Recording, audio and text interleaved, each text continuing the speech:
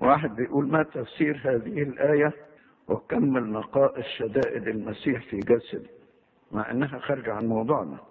لكن في شدائد كثيرة نالها المؤمنين ولم يتعرض لها السيد المسيح يعني.